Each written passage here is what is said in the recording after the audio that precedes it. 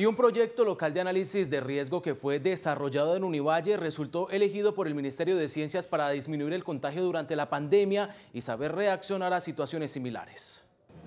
Un grupo de investigadores de la Universidad del Valle desarrolló Sigelo, el cual es un sistema de gestión logística local en escenarios de riesgo de pandemia como el que se está enfrentando el mundo por el COVID-19. Eh, desde el punto de vista de características de gestión local y de logística fue el favorecido. Creo que la propuesta fue diferenciadora para que el panel de expertos que hizo la evaluación pues decidieran apoyarnos. Este proyecto fue seleccionado luego de un proceso de evaluación y de revisión por paneles y expertos de todo el país, quienes finalmente decidieron apoyar 25 proyectos de 531 radicados. Los investigadores dicen que el Ministerio de Ciencias escogió a Sigelo ya que permite generar aportes significativos desde la ciencia y la tecnología para afrontar las problemáticas de salud pública que se vive en el país por el coronavirus es mm, dar información científica estructurada, verificable, fiable, en donde los mandatarios o los decisores políticos puedan apoyarse para tomar decisiones. Este sistema de gestión permite la planeación y actuación que ayude a minimizar el riesgo para las personas no contagiadas